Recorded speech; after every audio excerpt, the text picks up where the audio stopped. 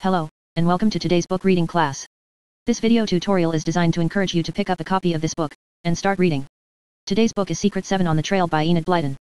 The Secret 7 Society members are Peter, his sister Janet, and their friends Jack, Colin, George, Pam, and Barbara, and their golden spaniel dog, Scamper. At their first meeting, Peter announces that the society will disband until Christmas. Because nothing ever happens in term time. The angry responses from the others cause Peter to back up a little. And he decides that there will just be no regular meetings. But any of the seven can call a meeting if something comes up.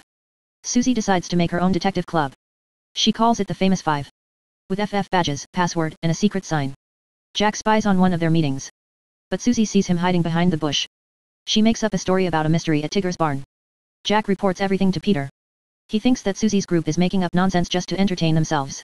Jack and George decide to investigate anyway. A trip to Tigger's barn finds not the gang that Susie is talking of. But they find another group of dangerous criminals.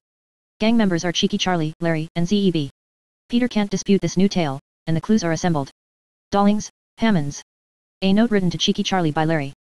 That's points in 610, maybe 720. Janet imitates during a game of trains. The seven realize the gang must be talking about the railway. What happened next? Were the Cheeky Charlie, Larry, and ZEB caught by the police? What was the night adventure at the rail yards in the fog, all about? How did the Secret Seven help the police in catching the culprits? To find all the answers, BookLuv recommends reading this book. Do you want to discover more about the other fantastic books? You can click the playlist button on your screen. Goodbye, and happy reading.